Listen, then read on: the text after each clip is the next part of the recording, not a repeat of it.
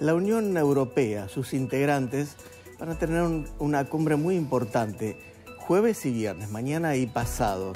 Y hay que seguirlo muy de cerca porque en principio lo que van a pedir no tiene nada que ver con las aspiraciones de uno de sus socios comerciales, por ejemplo, Estados Unidos. Van a pedir una pausa humanitaria. Ustedes recuerdan, Sebastián Dumont ayer les comentaba que Estados Unidos eh, no está dispuesto a eso porque dice que una pausa, un alto el fuego, puede ayudar a los terroristas justamente eh, a reagruparse y contraatacar.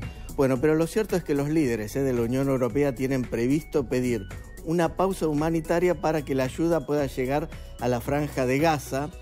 Esto según se desprende del borrador de la cumbre que como les decía se va a celebrar entre mañana y pasado en Bruselas. Allí también se va a insistir en su respaldo a Ucrania y van a abordar los avances en las cuestiones migratorias.